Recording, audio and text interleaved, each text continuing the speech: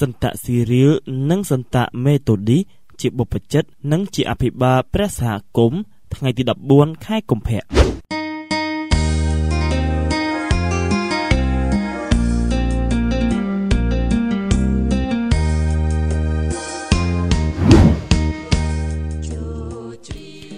លោកកុងស្តង់ទីនឬហៅថាលោកស៊ីរីល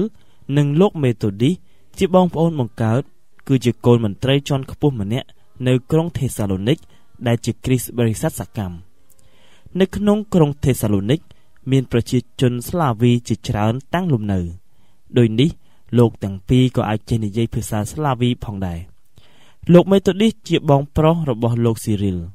លោកចូលបម្រើជាមន្ត្រី តែក្រោយមក លោកមានភាពធុញទ្រាន់ក៏សុំចូលនិវត្តន៍ហើយទៅស្នាក់នៅក្នុងអារាមមួយ ចំណែកឯលោកកុងស្តុងទីនឬលោកស៊ីរីល លោកគឺជាទស្សនវិទូ ហើយជាសាស្ត្រាចារ្យទស្សនវិជ្ជា នៅក្រុងកុងស្តុងទីណូបនៅក្នុងឆ្នាំ